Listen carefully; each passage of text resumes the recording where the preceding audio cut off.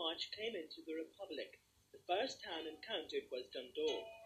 In Dundalk, the group were met by a large number of people. They were assembled from different fellowship groups in the town, and between them they were to accommodate all of the marchers that night.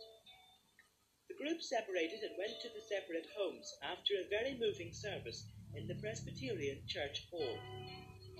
In Dundalk, I spoke to two people who had been involved with the event long before the actual march took place.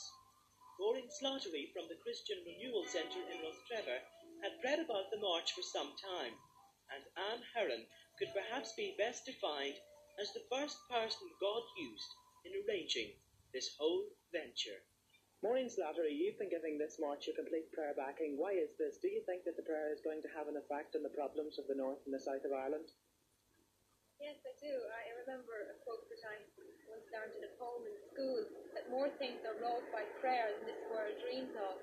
And uh, I feel that it's very significant that a group of young people from Northern Ireland are willing to take the time and the commitment to walk from Belfast to Dublin on a prayer walk of intercession and repentance and uh, claiming the land for Jesus Christ. So you met Gordon in Rostrevor, and this is how you come become involved with the Christ Unites Ireland March. Yes, I, I was giving a talk in Rostrevor. I'm a member of the Renewal Centre there, which is a community, Christian community with um, the specific aims of prayer and renewal and reconciliation in the country.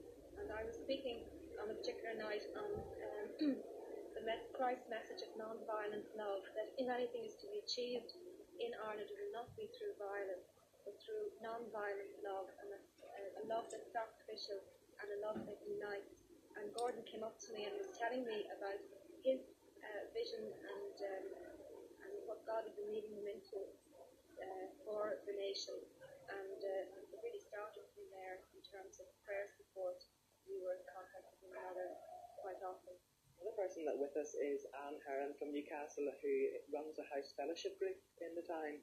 And it was through this house fellowship group that Gordon was provided the sponsorship to be able to go over to the Eurofire conference in Birmingham, where he believed the, the Holy Spirit touched his life to go about organising the Christ Unites Ireland March.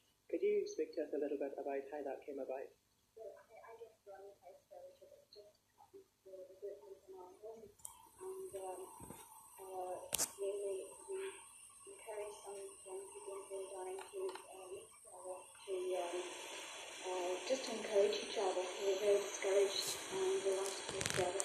So this is how we met Gordon and um, then uh, I suppose um, we've been going to Eurofire conference for two years now, but Harare